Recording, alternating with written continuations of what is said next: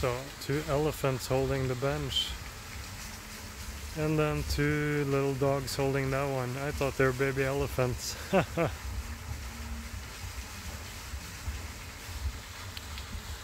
but yeah, I guess it makes sense because the other benches here, uh, it's never like adult and children of same type of animal. It's always different animals.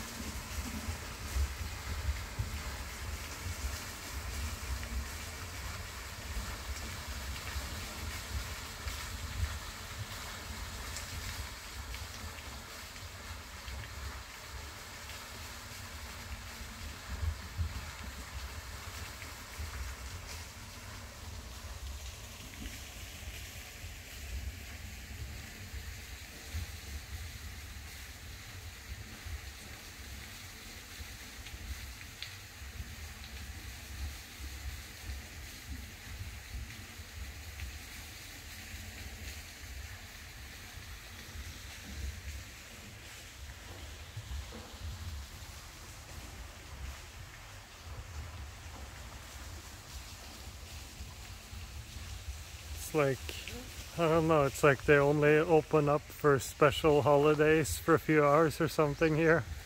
Otherwise, there's never enough people to warrant being open. Huh.